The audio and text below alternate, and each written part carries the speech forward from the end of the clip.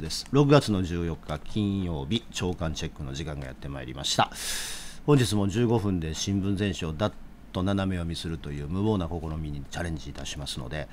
チャンネル登録の方よろしくお願いしたいと思います。いいねボタンも忘れずに。さて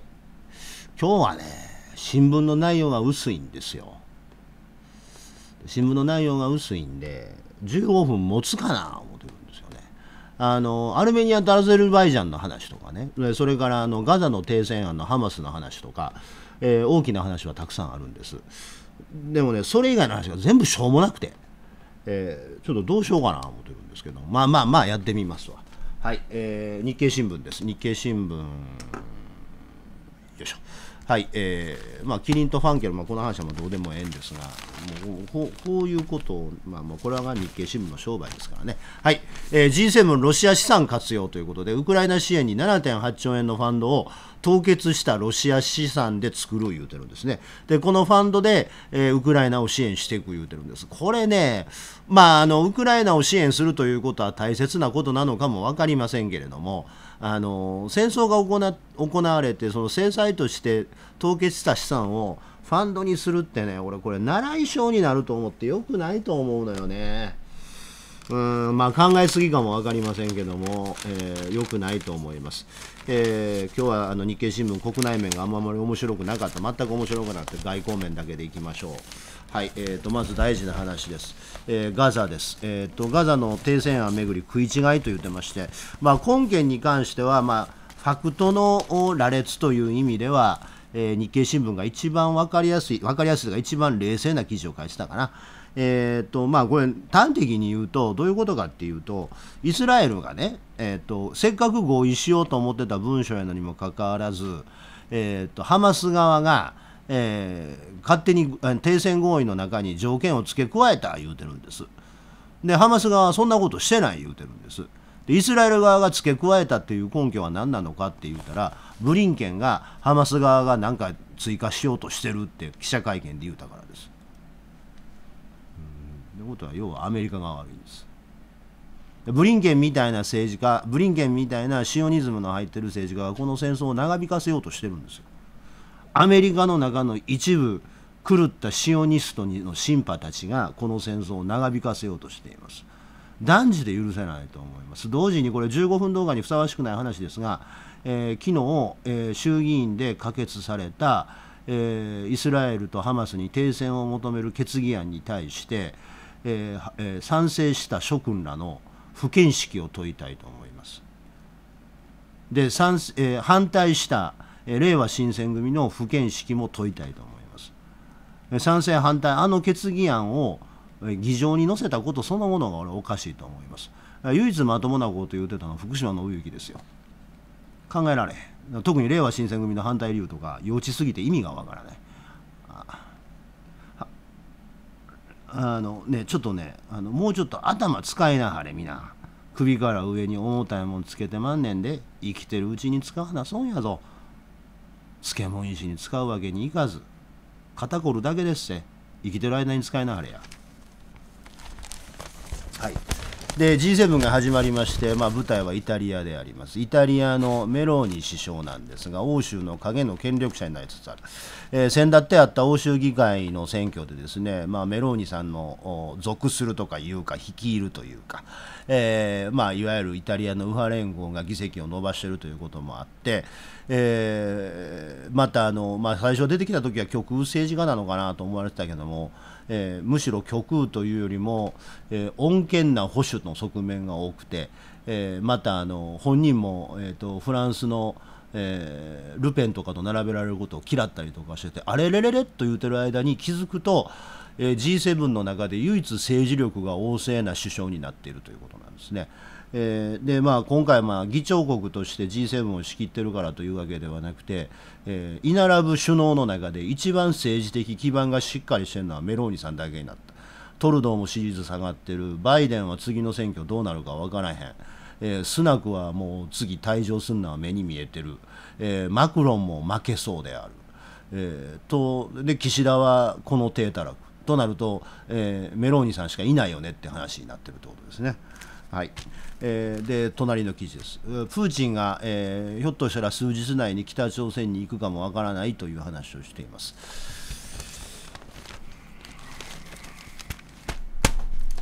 ね、あ。そう。この話を日経新聞でしとかなこれはゲームチェンジャーですね。15面です。これはあの誰も大きく取り上げる人がいないし取り上げたとしてもソニーってすごいねって話でしか取り上げないと思うんですけれども、はいえー、ソニーが、えーと、映画館のアラモを買います。でこれね、えーとまあ、ソニーがその、まあ、日経新聞が書いてるようにコンテンツに付加価値がつくよという意味で大きな話みたいに取り上げてますがこれこのソニーがあのソニーが、えー、このアウトプットのところねそのお客さんそのいわゆる最終消費のところも抑えるということでソニーっていう企業の、えー、販売チャンネルが増えてすごいよねという企業戦略の話ではなくてこれねハリウッドのゲームチェンジャーになる可能性があります。これは後で詳しく解説編でするんですがこの映画制作会社、えー、っとから、えー、それからマネジメント会社配給会社それから映画館という縦の一気通眼で、えー、やることを、えー、50年代60年代にアメリカで独禁法に問われましてねこれ解体されてるんですよ1回。でだから制作会社側が映画館を持つっていうことはねあのなかったんです。だから日本でいうそのいわゆる東映系とかねああいうのがなかったんですアメリカは。まあうっすらとはあったんですけど否定されてたんです。でソニーはそれに逆行してこれをやってるんで、えー、そのいいわゆる映画産業というよりもそうどう言えばいいかな、えーと、映画え映画業界のアメリカの映画業界ハリウッドのゲームチェンジャーになりうる企業買収かなと思います。えー、それからあの今朝から YouTube に1人あのなんか知らんけどもその泉健太がどうやとか石丸さんがええとか言うてる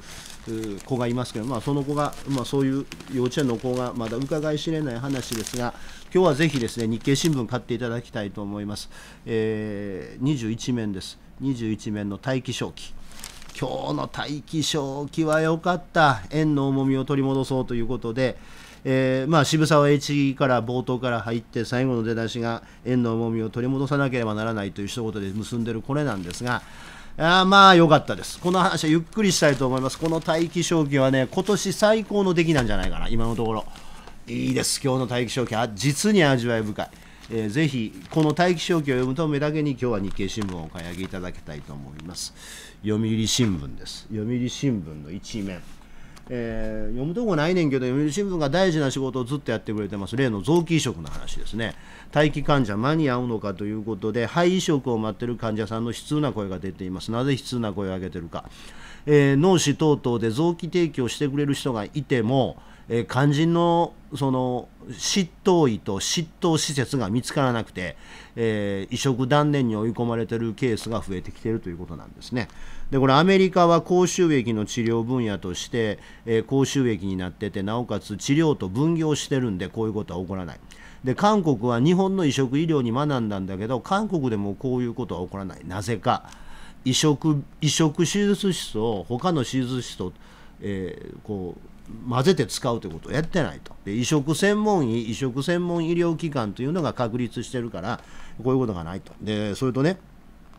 びっくりしたんですけど、えー、日本では22年心臓肺肝臓膵臓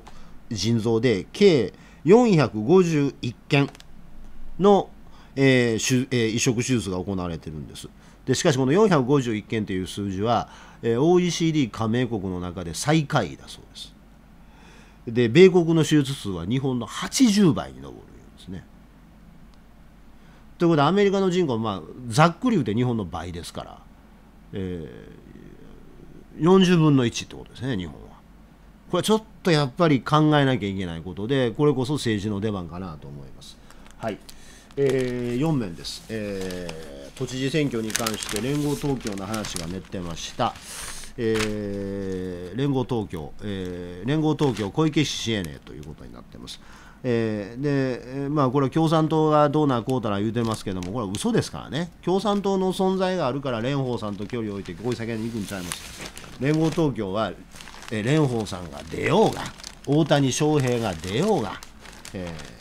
浜村淳が出ようが、えー、誰が出ようが小池百合子です。なも前から決まってたんです。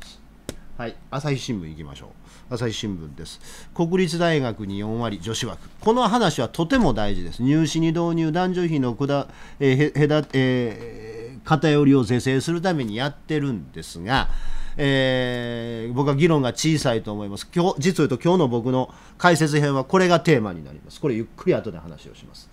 めちゃめちゃ大事な話です。これ。女性差別うんぬんかんぬんのはるか手前の話です、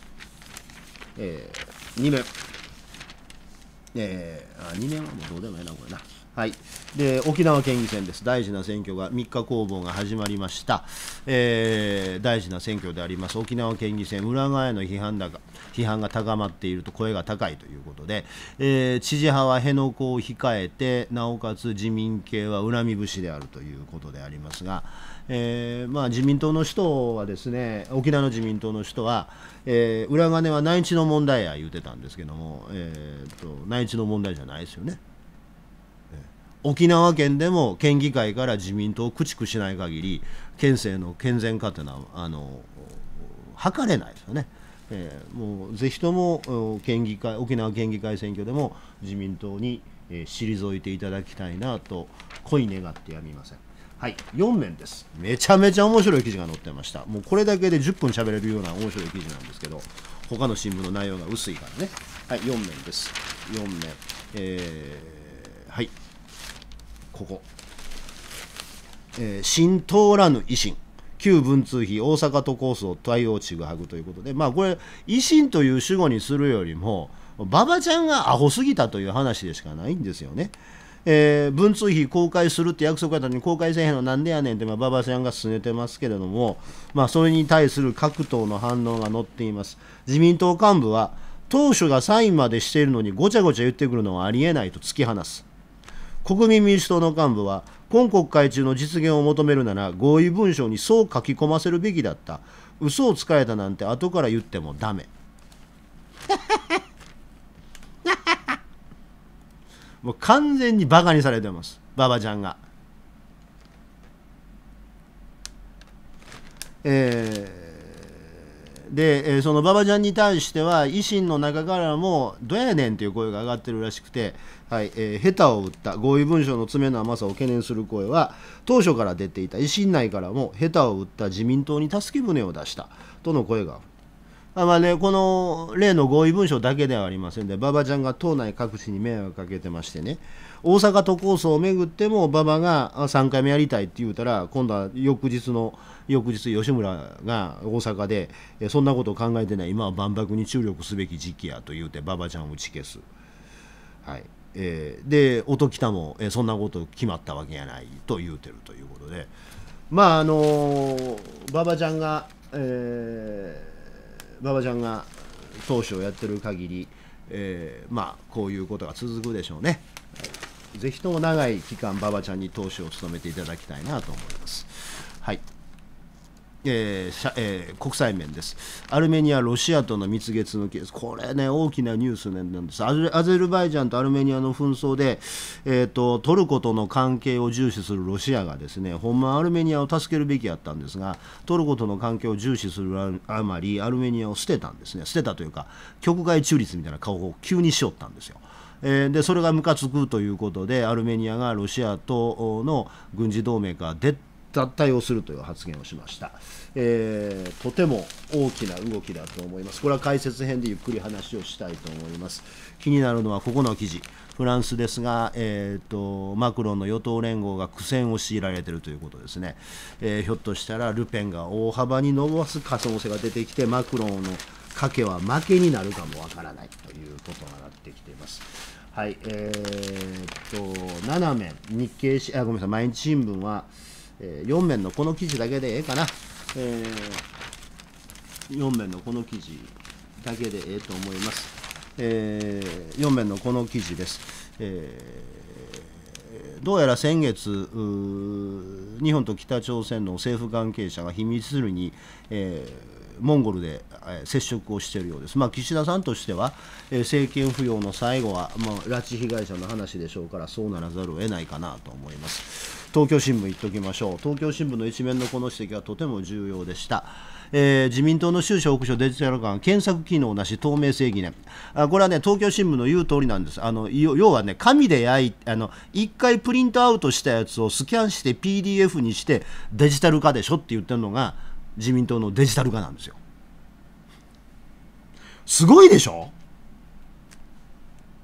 すごいでしょ？でこのこの政治資金収支報告書の問題点については後の解説編で、えー、蓮舫さんの選挙のことも含めてゆっくり話をしたいと思います。はい、えー、産経新聞です、えー、産経新聞も今日は読むと今日も読むところがありません。もう一面のこの写真見ただけで読む必要がないということは分かると思います。こんなもん読んだがっても目の上にボケ。ほんだ。から、えー、ということで、えー沖縄の県議会選挙がそろそろ3日公募最盛期を迎えております。えー、沖縄の自民党の人は裏金事件というのは内地の問題だなんてことを言って沖縄の人を流していましたがそんなことはないですな、えー、北海道から沖縄まで自民党はずっと裏金です。あいつらの議席は全て金で買った議席。そんな議席に民主的正当性なんてあろうはずがありません。その自民党政権を引きずり下ろすためにはいつも申し上げているようにリベラルとコミュニストの緩やかな連帯による人民戦線が必要です。来たるべき沖縄県議選挙東京都知事選挙そしてあるはずである衆議院選挙その先に待っている参議院選挙で人民戦線が勝利を収めることを祈って本日の15分動画といたします。また明日お会いしましょう。いや明日じゃない。月曜日お会いしましょう。さようなら。